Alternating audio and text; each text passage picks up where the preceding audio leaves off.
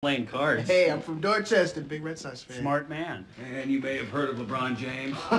no idea who this guy is. Reggie, what's up, What's man? up, man? I know he's gonna be here. Yeah, you know, I've just been concentrating on my day job. See, that is exactly why you are the best player in the world.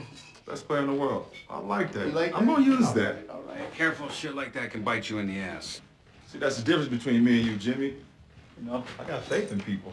Fuck people and fuck their other people. Don't mind him, he's been drinking since noon.